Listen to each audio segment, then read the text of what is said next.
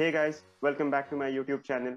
And after the amazing response that I received on the Amazon video, I thought of doing another video on placement process. And today we have with us Tanishka Gupta, who is my junior and a fellow VITian. And she has cracked off-campus internship process at a coveted organization, Goldman Sachs.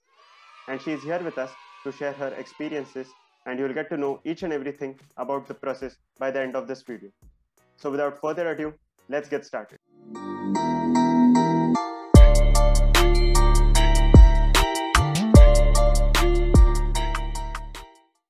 So Tanishka, would you like to introduce yourself? How are you doing today? I'm doing good, Kailash. Uh, thank you for having me here.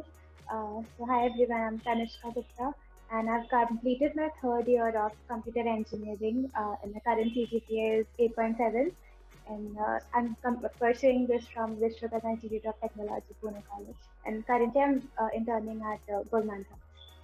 That's great, that's great. And to tell our viewers more about uh, you, so both of us were part of the Google Developer Student Clubs chapter of our college, and she was also the lead for the same last year. And she is a really talented girl, and and we've been trainers and instructors for a lot of workshops together. So thanks a lot, Tanishka, for coming on my channel, for sharing your knowledge and experiences. So without further ado, let's get started. So as you all know, the applications for Goldman Sachs have already opened on 22nd July from 6 p.m. IST, and they'll be open till 15th August till 12 p.m. So if you have not filled it, then do so immediately. And the first round will be the aptitude test on August 22nd, 2021. So, Tanishka, can you tell us in brief about the aptitude test? So, uh, the first round consists of your aptitude-based MCQs, and you have negative marking as well. Uh, so there are total 66 MCQs, and you have got 90 minutes to attempt. And uh, there, there is a negative marking of plus five, uh, minus two, and you have to be very cautious with it uh, because that is the game changer. Uh, so, like they don't mention any cutoff as such for the aptitude round at least but I remember solving around 30 to 35 questions, uh, and I was very sure about the questions only then I marked it. Uh, and the sections involved like around six to seven sections you'll have. The first section being the numerical computations, uh, then you'll have numerical reasoning, you'll have abstract reasoning, you have diagrammatic reasoning, you have comprehension and puzzles, and you might have a additional section, which is a subjective uh, question answer section, wherein you have to uh, write answers to two questions, which are mainly behavioral based questions. Oh, okay. So the next round is the technical test, right? Which is in the first week of October. And it's, as you said, it's for the students who are shortlisted from the aptitude round. So can you tell us in brief about the technical round as well? Yes. So uh, uh, for the technical round, you have to be very, very careful about the time uh, because you have got uh, 2 hours 15 minutes, but you have got five sections which are very, very lengthy. So the first section being uh, you have your online coding questions, like you'll have two coding questions. Uh, you have to solve them in 30 minutes. In the second section, you'll have math, math that, that will be pure math based MCQ section, and even that will consist of negative marks if I'm not wrong. And uh, then you'll have your third section, which will uh, test you on the basis of the computer fundamentals. So that will involve questions from operating system, from searching, sorting, and um, you'll have even I think one or two questions from database management systems as well. And uh, uh, I think you have 20 minutes to solve these MCQs, but uh, hmm. they'll be very lengthy, so you'll have to be very handy with the concept. The fourth section is again the competitive coding question. Uh, here you'll have a hard level question, which will, so you'll have this one question which you'll have to solve in 45 minutes. You can say that is of lead for hard level. And then the last question, uh, the last section, again, this is an optional one, I think. Uh, I had it, uh, you may not have it this time. So you have your subjective section, as I mentioned. So you'll have 15 minutes to solve, uh, to write answers to two behavioral questions. Mm-hmm. So this was the second uh, section. Uh, and the cutoff there, they had explicitly mentioned that uh, you'll have to clear three sections out of these five and one additional uh, section which was of your GPA. So they don't mention what is the threshold for GPA, but they do consider it. Uh, like so, mm-hmm. in, uh, apart from these five sections, you can consider GPA, GPA as your sixth section, and then uh, from these six sections, you'll have to uh, clear at least five.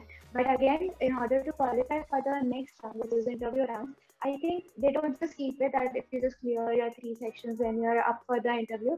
I think there's more to it. Even after mm-hmm. clearing the three sections, they'll check whether uh, what is the availability. For example, if some uh, thousand people have cleared the three section cutoff, but if they have availability of only some 20% seats, so they'll just pick up the top 20 percentile out of those uh, 1000 Mhm. cleared students. Okay, okay. I see. Um, so like even if there's no cutoff, it's better to be in the top percentiles for each of the sections. Yeah. And after this, there's the interview round in the third week of October, and you have definitely nailed the interviews. So can you share us uh, your interview experiences? Like how many interviews did you have? Uh, like how many HR interviews? How many technical interviews? And the structure. Uh, so, uh, like as I mentioned, uh, Goldman has one to five interviews, and none of these interview rounds are any elimination rounds. So it depends on uh, which team wants to interview you on the basis of your resume. So they'll uh, pick your resume up and they'll get to know about you through the interview. So I personally had two rounds of interviews as such. So the first round was around uh, 20 to 30 minutes, you can say. And uh, therein, I was just asked two coding questions. So the first one was number theory based, and the second one was uh, based on dynamic programming. So I was expected to write the approach and then solve the like write the entire code, and then uh, we were done with that round. And then the second round uh, was of around 45 to 50 minutes. Therein, I had a couple of questions from uh, various domains. So I, I just had one coding question therein. It was based on string manipulation. And uh, and apart from that, I, I had a question based on the introduction I had put up. So like uh, I think I mentioned something about uh, one of my projects, I guess, or Mhm. even knowing about uh, Goldman Sachs. I think I mentioned about some Goldman Sachs culture during my introduction. So she asked me a question on the basis of that. So it was not exactly HR, but uh, you can say that uh, she, like she was interested to know whether I was actually knowing about Goldman Sachs or not. Uh, Mhm. and then I was also asked a puzzle and a probability based question. I think fintech companies do really uh, focus on your math and your puzzle solving ability as Mhm. well. So uh, I was asked one question from uh, puzzle and uh, probability. Then I was asked uh, questions on uh, database management system. Like it was more of database designing. That she gave me certain a situation and she asked me how are you going to create entities and, and then there were many many follow up questions. I think this alone uh, the question for database went up to around 10 minutes or so. Like she wanted to be very sure about it whether I could be in a position to understand it or not. And Mhm. then uh, then we then she asked me about one of my projects on my resume. And, and and it was not that you just tell me about your project and then we are done. She went in and out of the project like why this? Why that? What if i i don't allow you to use this? So why are you using this technology? And what if i ask you to use the other part of it? So how Hmm. are you going to implement it and Okay. certain uh, built up features as well and and i think she also asked me from the business perspective like what is the business model you might propose for this Mhm. so, uh, like, uh, the, they, I think uh, Goldman Sachs, at least they take projects and puzzles very seriously Okay. in most of the interviews. I, that's what I've seen. Uh, and yeah, I think apart from this, I just had two conceptual questions which were based on object-oriented programming and uh, C++. Okay. So that was all about my second interview, and I think I didn't have any HR round as such. But Mhm. from what experience I got from my other colleagues who were in the same lobby uh, where we were uh, waiting for our interviews, so Mhm. they mentioned like uh, two or three of them did have additional rounds, which was third and fourth round. But Mhm. uh, even then, uh, it's not not mandatory that any one of the rounds will has to be your HR round. So Mhm. it can be either purely technical or purely HR, or it can be a mixture of both. It completely depends on the interviewer and the team you are sitting for. Oh, I see. Okay. Uh, and like you gave us really good tips like uh, prepare for the maths part or prepare probability and focus on projects. Like you should know all your projects in and out. So like uh, another important question is that uh, how do you tackle questions that you have never seen before? Like what was your thought process or how did you approach such questions in the interviews? So, uh, Sarvesh, I think this is something which comes from your practice. So, Mhm. the more you practice, the more you get to understand how the question has to be solved. So, what I think is once you are very comfortable with the basics, that is your uh, data structures and algorithm. So, Hmm. after that, you should keep on hitting questions on Geeks for Geeks. I think that's a very, very, very good platform. And uh, or maybe any other practice sites like HackerRank, you have HackerEarth, you have uh, LeetCode, whichever you feel you are comfortable with. So you should keep on practicing. Uh, It's not about getting very, very perfect with it, but it's more of how uh, comfortable and how confident you are with your understanding. So Mhm. eventually, like if you keep on solving, eventually you will understand how to approach any new problem that you're facing and what data structures might be used for it, like what logic can be applied. At least you'll get an intuition for the approach, if not how to completely solve the problem. I see. That was a really great answer. So basically, you should know your basics, and then after that, you should try and practice more and more problems so that you develop an intuition. And what were you mentioned a few names in the previous answer? So what were the re- resources used by you for this uh, preparation? So initially, to be very honest, I was very confused because if you see the syllabus of operating system DBMS, it's very vast. And the uh, the thing was, for my interview, I just got four days to prepare. So I was very, I had to be very, very particular about what I was preparing, how much time I was investing in which topic. So what I did was I uh, directly referred Afan's resources. He curated. Uh, like he's a senior, as you know, and he has Yes. curated good list of very very good resources which are very handy especially when you're you know in your those days wherein you'll have your interview in a upcoming week or so. So i referred to them and uh, I'm, I'm very very glad i referred to them because they were actually very helpful. Like i didn't have to study anything extra. I didn't study anything uh, you know uh, which i think that they might have asked me in the interview but i didn't i just skipped that topic saying okay they won't ask this yes so i think uh, you can just explore each one of them so it particularly contain the questions, the most asked questions. And I think there are many sites out there which contains, uh, you know, the top 50 asked questions in uh, of uh, operating system and all. But I think the exact ones which are which are actually genuine, which a person is looking for during their preparation days, that has been curated by Afan. So uh, that one thing, and apart from that, Geeks for Geeks, of course, and LeetCode.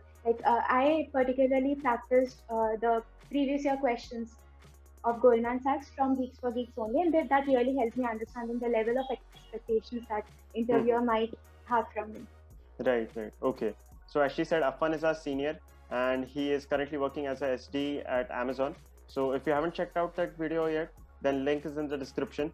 And the list of materials which he has compiled for SDE roles, I'll add the link to it in the description as well. So feel free to check it out.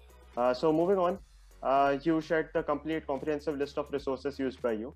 So uh, about the aptitude round preparation, the first round, how did you prepare for it? The maths problems or the numerical reasoning problems? So uh, for the particularly the aptitude part, that is numerical reasoning and uh, the numerical computation, abstract reasoning, and diagrammatic reasoning. For that, again, I had to refer to Afan's resources because I think therein he had, has mentioned a link uh, that that's a cheat sheet for the quantitative and qualitative rounds. So that was really helpful because I, I don't really have the time to sit and you know you are not actually in the flow to sit and solve the questions like you used to previous. Mhm. So I think uh, just glancing through the uh, the formulas, the logic, that they actually help you out because you have to be very very uh, cautious about the time and. Mhm. Yes, I think them and for maths I had to uh, go back again and refer to our uh, JEE level, the books we used to refer them. So Right. I, I just had a compendium ready, so I, I, I was just going through it, but just revising the formulas because Mhm. you'll have questions right from integration to logarithms, and they they they won't be very simple ones. There'll be a mixture of uh, Mhm. questions like uh, definite integration on some binomial series and all. So that's something which you had long back. Mhm. So it, it takes time to revise. I didn't Right. particularly revise everything as such, but I just went through. So I, Mhm. I, I, like it was more of that whatever I can solve, I'll solve that in the given time. That's Okay. that's. Yeah, that's a great approach.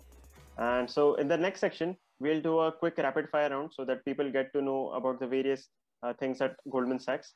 So you have to rate the following things out of 1 to 10, 10 being the most important, 1 being the least important. So uh, considering this internship uh, recruitment di- drive at Goldman Sachs, how important is GPA? I can rate it eight. Okay. Then how important are projects? Projects nine. Okay. And how important is competitive programming, like solving websites like LeetCode, HackerRank, etc.? Ten. Okay.